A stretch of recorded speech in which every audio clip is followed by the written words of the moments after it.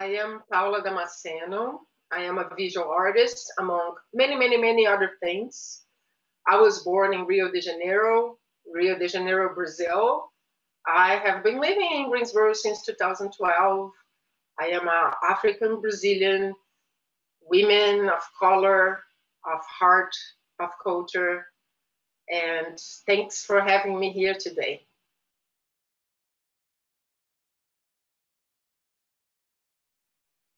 I think it started uh, very early in my childhood, basically having my grandparents being makers, my parents being history teachers, but flirting with art all the time, exposing us to global art and to local art in Rio de Janeiro, um, where I was born and raised and so that very that early childhood um, made me uh, understand much later but made made me make art. And i um, when i was thinking about that question i was realizing that all the way the plan was to make art.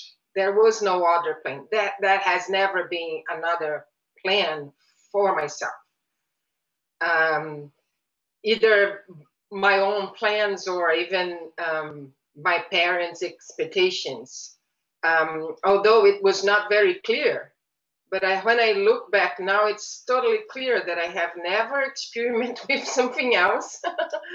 and so, uh, my first background uh, for years since childhood was really classic ballet, as many other um, female raised as a gender specific person, uh, which was great and gave me lots of things that I still use, you know, lessons on rhythm, just the, you know, the, the training music, the exposure to stage, uh, exposure to the costumes making of it. And it I, I got to a point after 10 years that i had to decide and that's when i decided no i don't want to starve myself. I don't want to spend hours training my body for that.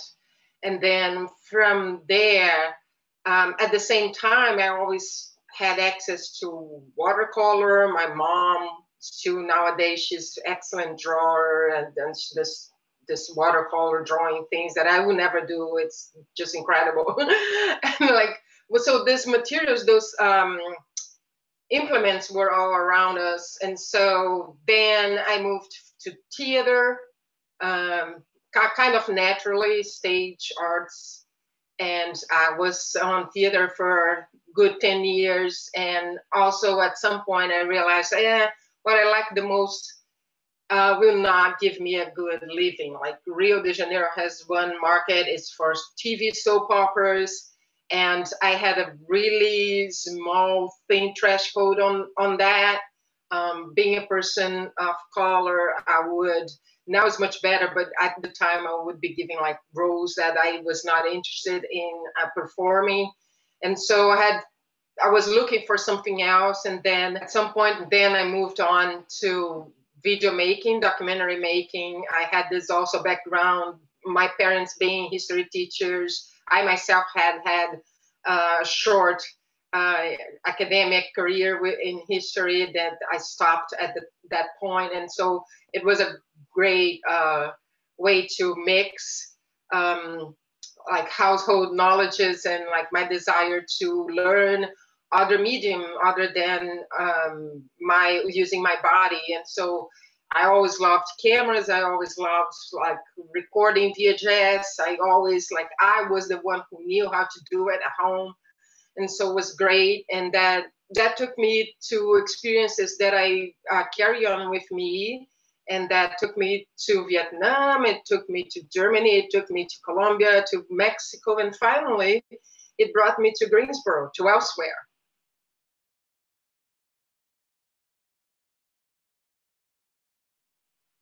Well, I will say again, my grandparents were makers, were seamstresses, um, furniture making designers and makers from that time where you were the designer and the maker in your own workshop in the back of your house. They taught me in like small lessons how to handle tools, how to organize a workshop, how to pursue that while doing other stuff as well for to making uh, to, to make a living. So they are my primary influencers music in the sense that music comes into an object. I had to handle that object, not only to listen to it. I'm not a musician, so it's not much an influence, a direct medium like influence, but the objects that carry on this, the, the songs, the covers, the albums, they, they, in like when I was really young, they started to um, affect me affect my eyes and the way I saw the world. Um, then after the experiences I have, I have had multiple Brazilian artists that I can uh, tell you a little bit. So, as I said, Rubem Valentim, Mario Cravo Neto, Rosana Paulino recently too, the object aspect of it and the conceptual aspect of it. Like uh, Rio de Janeiro is heavily influenced by conceptual artists like Cildo Meireles and um, uh, Antonio Manuel, um, and so, and of course, Hélio Oiticica, Lygia Clark, Lygia Pape, um, all conceptual arts are artists that um, heavily worked with objects, animating ob objects, reanimating objects, appropriate, appropriating um, art that had already been made or objects that are just for consumption and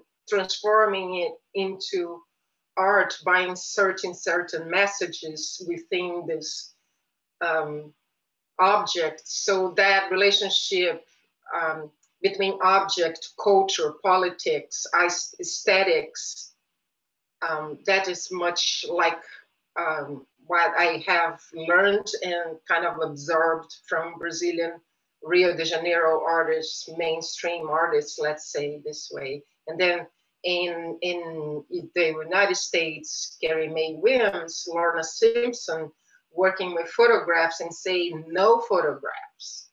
Uh, archives, archives, I would put my hands on archives and I would tell my story about archives.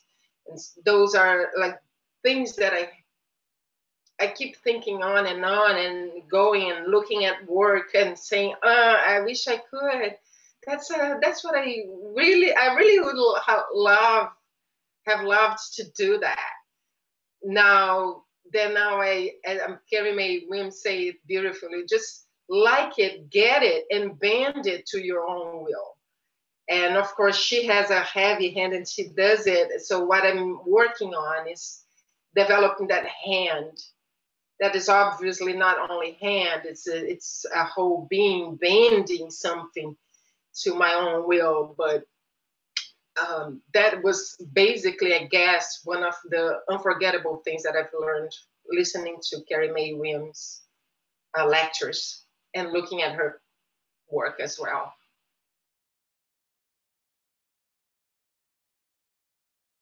because I got this email from elsewhere, the Living Museum in Greensboro downtown, saying, uh, asking if I wanted, inviting me to apply for a residency here.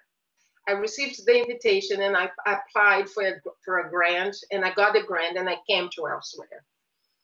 And when I came to elsewhere, uh, I think it, my first impression was of total delight. First of all because it was uh, still it was it is still but it was even more there then was this town that was recovering for some from from something. And i didn't know what it was and i think it's still recovering from uh, from some things that happened but downtown where elsewhere is and the story of the building helped helped me to understand and then I decided to make a documentary about the Carolina Theater. And I did. And through that documentary, the what I discovered what was uh, that Greensboro needed to heal.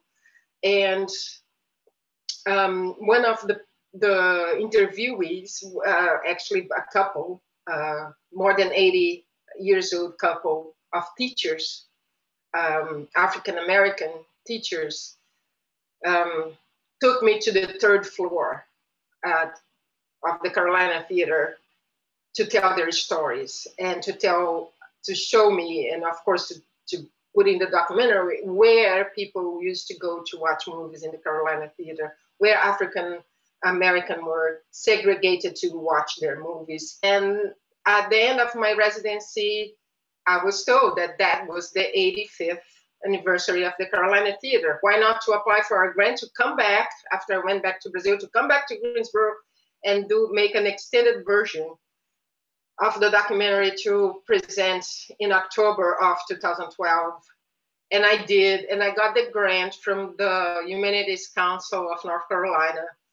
And so I came back to elsewhere, to Greensboro, that time to put together the CEO of the Carolina Theater, which uh, was Keith Holliday, the former mayor of Greensboro, and uh, the president, the CEO of the Civil Rights Museum, on the stage to celebrate the 85th anniversary of the Carolina Theater and to talk about their differences and um, to talk about also, more importantly, um, how the city was having a chance that night to heal a little bit about the segregation and the racism um, and the civil rights history of Greensboro. So that was what happened in 2012. And in the process, I fell in love. And Greensboro gave me that love, put on my lap and I embraced it and I stayed in Greensboro.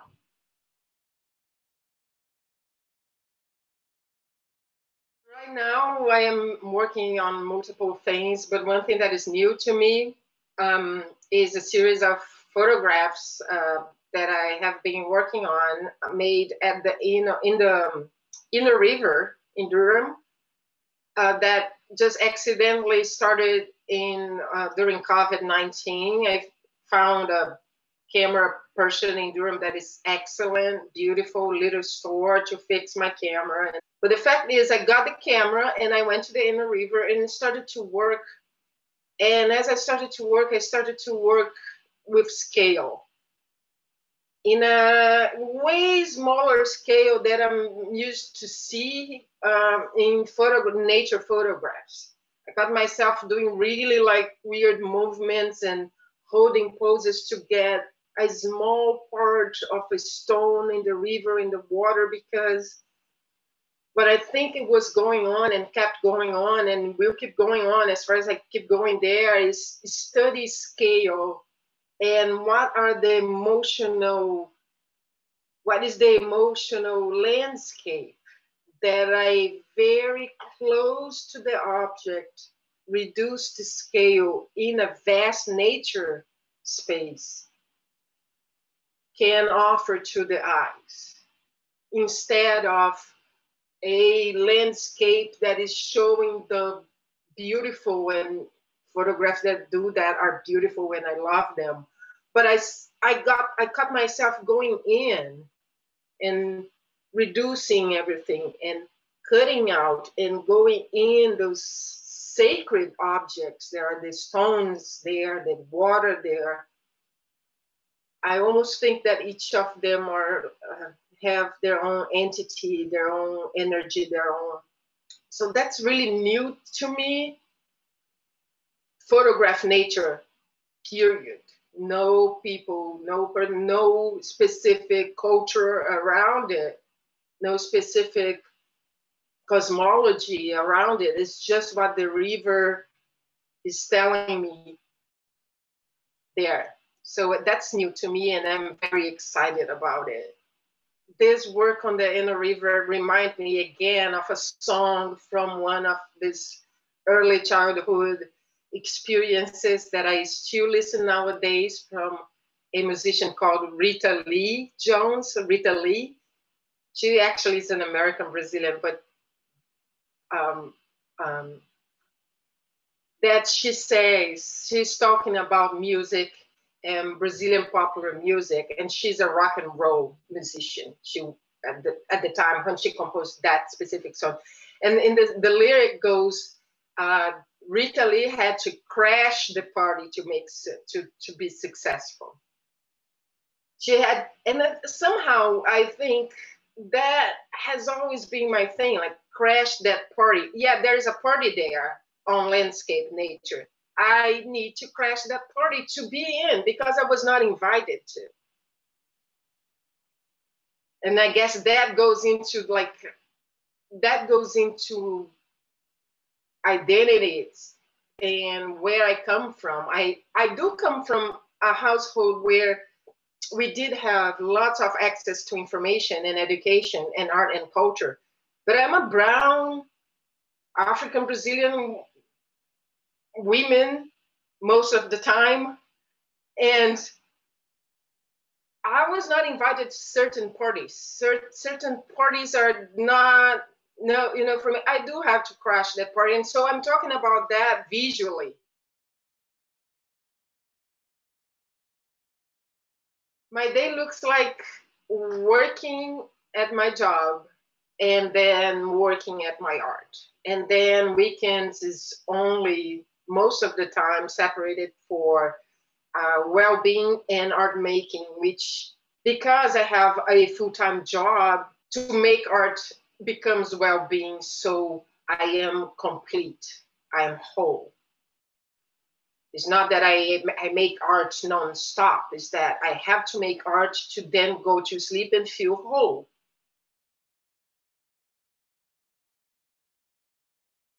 The pandemic, besides the negative aspects of it, the anxiety, I didn't personally lose anyone, but it the sadness of so many people just uh, being defeated by uh, the disease and the mismanagement of the disease.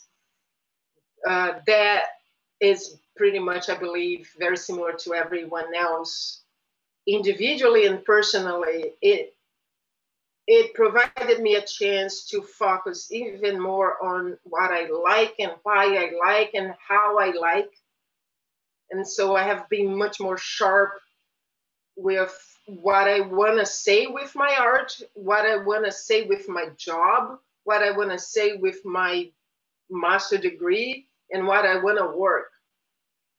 And as I said, the the series of photographs at the in, the Eno River are, I believe, a little bit mirroring that need and that capacity of rescaling things and choosing exactly the scale that you want to work things out. So that is something that I can I can say it's not necessarily between negative or positive, but that's one uh, effect that COVID had on on me. And it's also i didn't i couldn't go just anywhere. It was like actually when i started that was shut down. So rivers sounded like the safest place for me to go. And so from there uh, I, I just kept going. But just like on a, a, a more clear awareness of where I stand with my own choices and the effect of my choices also in the broader community.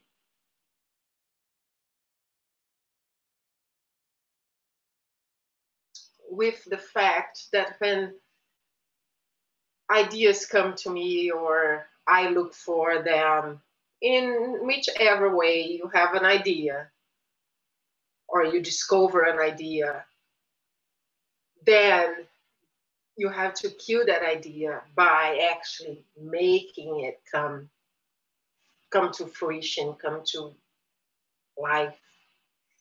And I do struggle with that part because it's so beautiful in my mind. And also I can like tell myself how great I am by having that idea and you know, visualizing little things that could happen as an effect of that idea and spend a whole lot of time on that.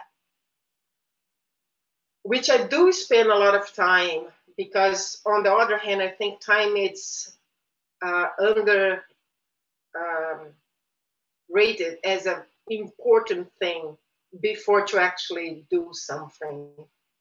Um, I had difficulties during school because I never wanted to have an idea, go to the workshop, put the paper, get the camera, go down because you have to do it immediately. And I I have another time, but I do struggle when that time is, is over.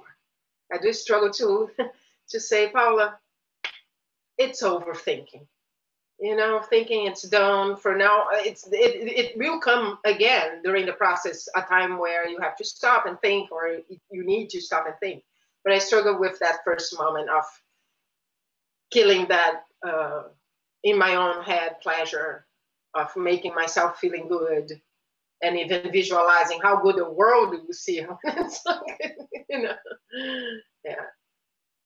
That's just one of the, the struggles. I